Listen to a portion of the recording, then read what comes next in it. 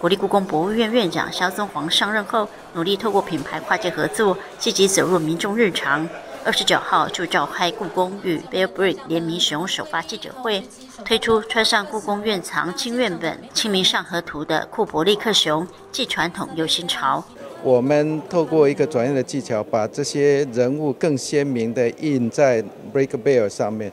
所以你透过转动的话，你可以看到整个《清明上河图》不同的版本，好像你在翻阅那个长卷一样。所以基本上来讲，我觉得这次的制作非常非常的成功，非常的完美。对于有机会与故宫合作，潮玩品牌 MediCom Toy 也非常重视。社長赤司龍彦也在相隔三十年後再度造訪台灣，出席記者會。あの本当に世界中のたくさんの美術館とご一緒していたので、あ、故宮からもお話しいただけてとても嬉しいなと思いました。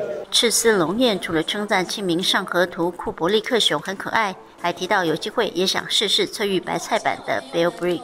肖宗煌表示，疫情之后，故宫努力找回人潮，但是国际观光客回流不如预期，因此先专注国内客源。除了策划精彩展览及举办活动外，也希望透过品牌业业结合，主动出击，吸引新客群。作为我们最近的话，就是包括吃冰淇淋都可以看到故宫的文物。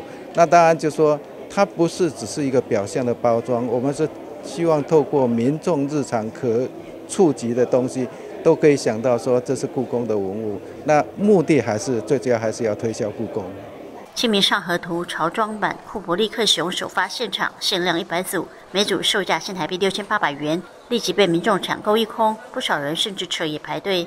故宫表示，未来双方还会持续有更多合作，尤其二零二五年是故宫成立一百周年，希望届时有特别款诞生，吸引全球潮玩收藏家的目光。央广记者杨仁祥、张昭伦，台北仓报道。